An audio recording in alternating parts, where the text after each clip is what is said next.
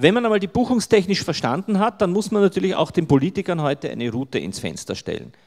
Denn es ist unerträglich, wenn sie verlangen, Steuergeld zur Bankenrettung zu verwenden. Das ist bitte wirklich ein Verbrechen. Ja.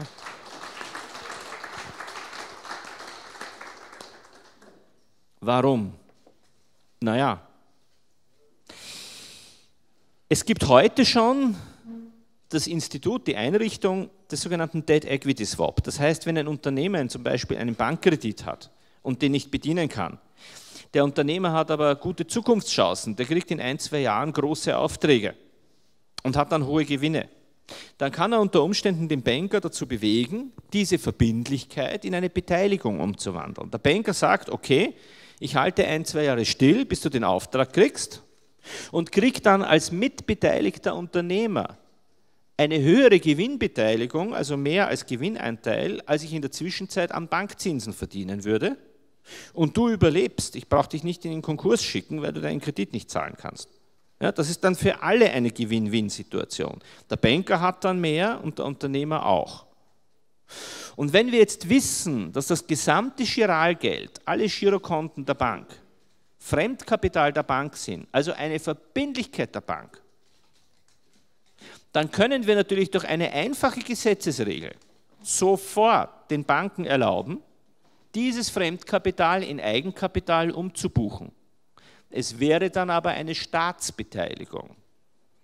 Ein einfaches Gesetz, das besagt, alle Girokonten der Banken, die heute Fremdkapital sind, sind eine Staatsbeteiligung und damit für die Bank Eigenkapital. Damit entsteht ein unglaublich großer Puffer an Eigenkapital für die Banken und sie können dann auf der Gegenseite, auf der Aktivseite ihre faulen Kreditforderungen in beliebiger Höhe abschreiben, ausbuchen als Aufwand, ohne dass ihr altes Eigenkapital bedroht wird. Weil das ja durch diese Umbuchung, den sogenannten Debt Equity Swap, also Fremdeigenkapitaltausch auf Deutsch, erhöht wurde. Okay? Und durch den dann immer noch verbleibenden Staatsanteil an der Bank kann ich diese teilverstaatlichte Bank dann zum Beispiel auch für ein bedingungsloses Grundeinkommen oder für andere Dinge für die Geldschöpfung mitverwenden. Und damit auf der Girokontenebene fürs breite Publikum das Geld dann nicht verschwindet, das er sonst verschwinden würde beim Ausbuchen der Kredite, kann ich den entsprechenden umgebuchten Anteil auf den niedrigeren Rechnungskreisen in einen Vollgeldrechnungskreis auf Treuhandkonten überführen und damit bleibt auch die Geldmenge unverändert. Und es kommt nicht zur Deflation.